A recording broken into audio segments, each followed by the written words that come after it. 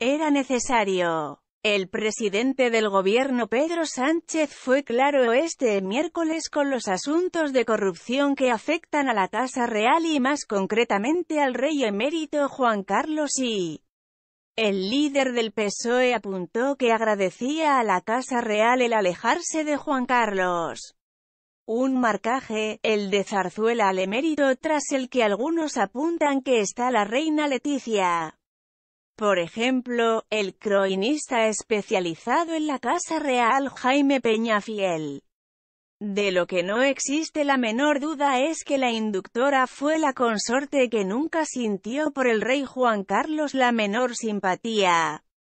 Cierto es que el suegro tampoco por la nuera.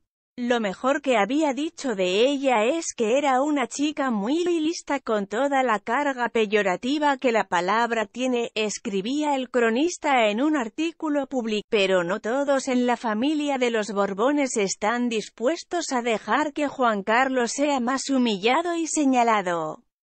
No piensan dejarlo caer. Por ejemplo, las infantas, Elena y Cristina, las hermanas de Felipe VI sí apoyan a su padre, y no comparten el sentimiento de animadversión que ha demostrado tener Felipe cuando ha retirado la asignación a su padre y ha renunciado a su herencia.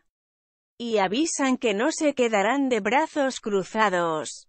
Las infantas tienen medios suficientes como para frenar esta hemorragia en la dignidad de su padre y de parar los pies a quien pretende perjudicarlo. Cuentan con el apoyo de los medios que siempre se han pronunciado a favor de la monarquía.